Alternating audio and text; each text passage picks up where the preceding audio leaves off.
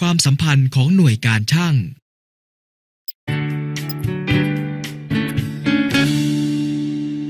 สวัสดีครับน้องๆ วันนี้มีกิจกรรมส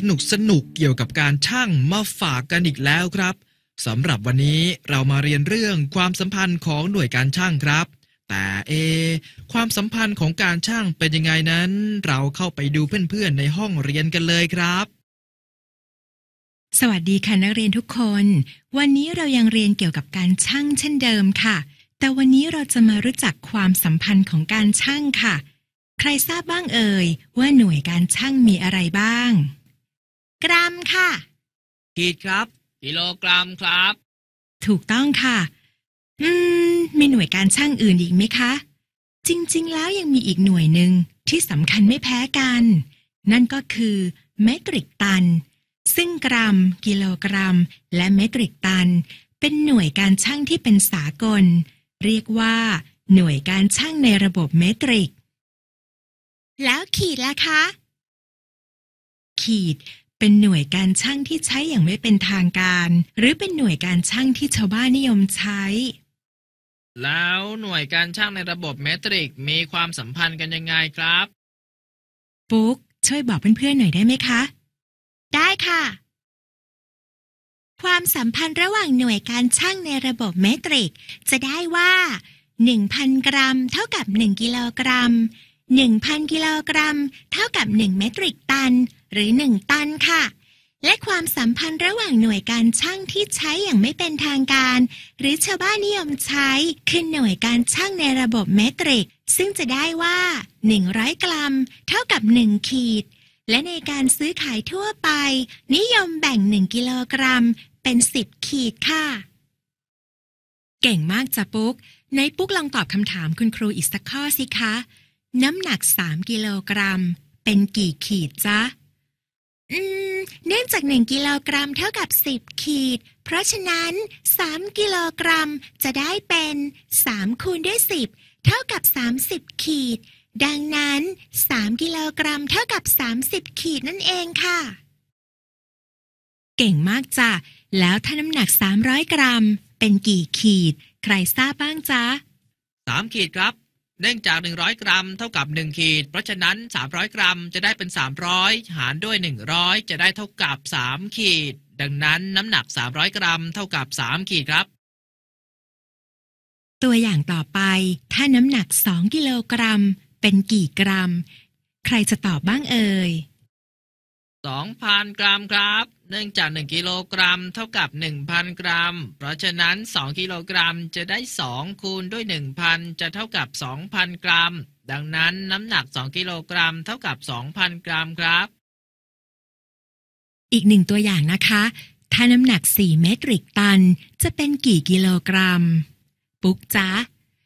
4,000 กิโลกรัมค่ะ เนื่องจาก 1 เมตริกตัน เท่ากับ 1,000 กิโลกรัม เพราะฉะนั้น 4 เมตริกตันจะได้ 4 คูณด้วย 1,000 จะเท่ากับ 4,000 กิโลกรัม ดังนั้น น้ำหนัก 4 เมตริกตัน เท่ากับ 4,000 กิโลกรัมค่ะคุณครู เดี๋ยวเรามาเรียนเรื่องความสัมพันธ์ ระหว่างหน่วยการช่างต่อกันเลยนะคะ เอาละดูตัวอย่างต่อไปนะจ๊ะเด็กๆ น้ำหนัก 2 กิโลกรัม 6 ขีด จะคิดเป็นกี่ขีด เราสามารถคิดได้ดังนี้ น้ำหนัก 2 กิโลกรัม 6 ขีด แยกได้เป็น 2 กิโลกรัมกับ 6 ขีด 2 กิโลกรัมสามารถแยกได้เป็น 1 กิโลกรัมกับ 1 กิโลกรัม ซึ่ง 1 กิโลกรัมเท่ากับ 10 ขีด จะได้ว่า 2 กิโลกรัมคือ 10 ขีดกับ 10 ขีด เพราะฉะนั้น 2 กิโลกรัม 6 ขีด คิดเป็นขีดได้ 10บวก10 บวก 6 เท่ากับ 26 ขีด หรือวงเล็บเปิด 2 คูณด้วย 10 วงเล็บปิด บวกด้วย 6 เท่ากับ 26 ขีด ดังนั้นน้ำหนัก 2 กิโลกรัม 6 ขีด จะคิดเป็น 26 ขีดจ้า อีกสักหนึ่งตัวอย่าง น้ำหนัก 2,700 กรัม คิดเป็นกี่กิโลกรัม เราสามารถคิดได้ดังนี้ น้ำหนัก 2,700 กรัม แยกได้เป็น 2,000 กรัมกับ 700 กรัม ซึ่ง 1,000 กรัมเท่ากับ 1 กิโลกรัม เพราะฉะนั้น 2,000 กรัมเท่ากับ 2 กิโลกรัม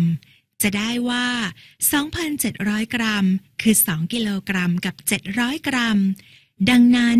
น้ำหนัก 2,700 กรัม จะคิดเป็น 2 กิโลกรัม 700 กรัมจ้ะ